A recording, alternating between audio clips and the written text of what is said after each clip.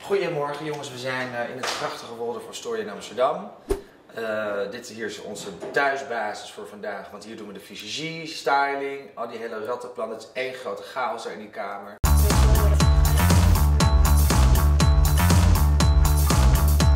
Ja, het is voor het juli nummer en uh, we hebben lekker bikinis, t-shirtjes, korte broekjes. Er zit niet echt een thema aan. Geen idee wat ik doe. Oh! We hebben een beller. Ja, we hebben een beller. Oh! Lieverd, ik bij jou zo even terug. Ik zit midden in een interview. Doei schat. Ik ben nu de setjes aan het voorbereiden die we zo meteen gaan shooten. Lekker zomers nog en uh, heel veel kleur en heel veel glitter. En uh, lekker blitz.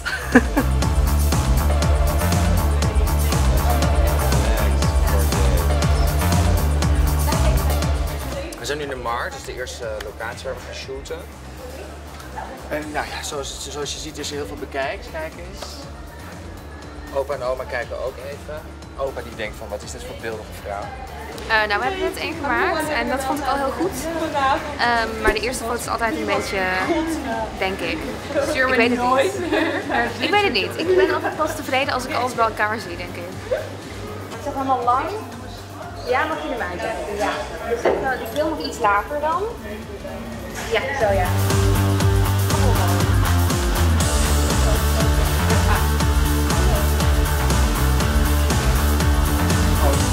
Ja, zo cool. Echt nog beter dan dat ik in mijn hoofd had. Oh ja.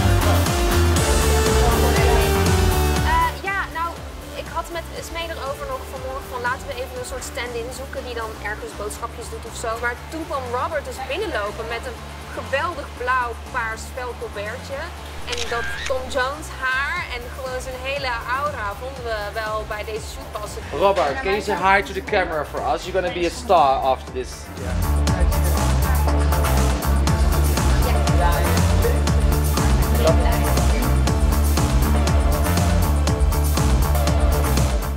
Zo voor het laatste shot een pak vla op de grond gooien. En daar gaat die prachtige vrouw gewoon met een hele mooie designschoen in. Alsof die dan een soort van geëxplodeerd. Um, wat logisch is als je een meltdown hebt in de supermarkt.